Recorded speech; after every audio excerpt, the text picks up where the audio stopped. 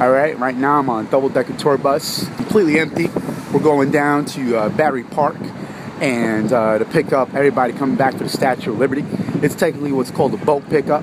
Right now we're cruising down what's this 7th Avenue, crossing 23rd Street, and um, entering the uh, well, actually rolling through the neighborhood known as Chelsea. And I'll tell you what, man, it's a beautiful, it's a beautiful Friday, uh, Friday afternoon, uh, October what I think today's the 25th, I think, uh, 2012. We got this Frankenstorm coming our way, but I'll tell you what, man, um, I like this job, man. It's a very cool job. It just doesn't pay me what I'm worth, so I've been applying to federal jobs, which will pay me a lot more. I'd like to start my own tour bus company in uh, in the not too distant future, because um, these buses make a lot of money, man.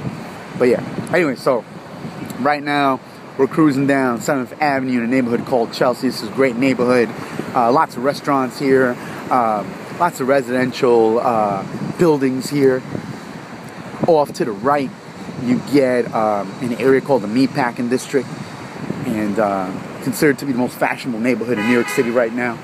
They've got a great park down there called the Highline Park.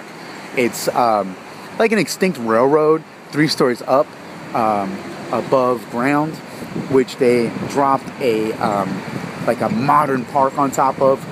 Very cool, really nice. And I have when I have tourists um, on my tour bus or even family friends, when I have tourists on a tour bus, I tell them, you know, we had a red light. I tell them you gotta go check out the Highline Park. Ooh, check out that girl right there.